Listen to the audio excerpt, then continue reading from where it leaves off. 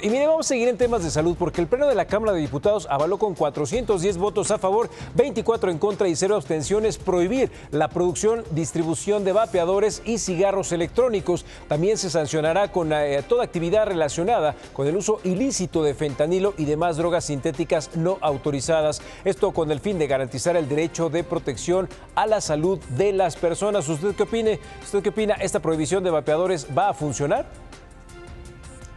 Es que, mire, el consumo de los cigarros electrónicos tuvo su boom hace cuatro años. La pandemia fue un buen pretexto para apagar eh, con ellos la ansiedad. Vea.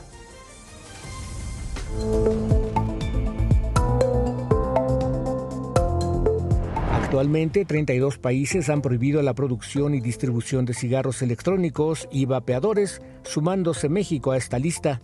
Pero ¿desde cuándo estos dispositivos volvieron tan populares convirtiéndolos en un problema de salud?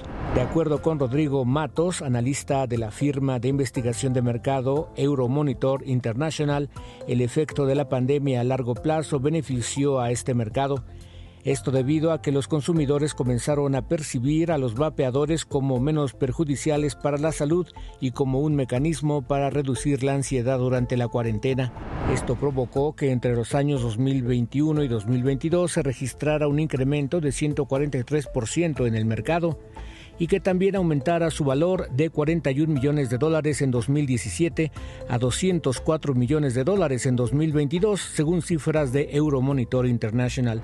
Sin embargo, la Organización Mundial de la Salud ha expresado su preocupación sobre el uso de vapeadores debido a que no se conocen sus efectos a largo plazo y sus componentes pueden transformarse en sustancias químicas peligrosas al calentarse. Ayer desde San Lázaro los diputados aprobaron con 410 votos a favor la reforma forma del expresidente López Obrador en materia de salud que tiene como objetivo prohibir la producción, distribución, comercialización de vapeadores, cigarros electrónicos y otras sustancias tóxicas.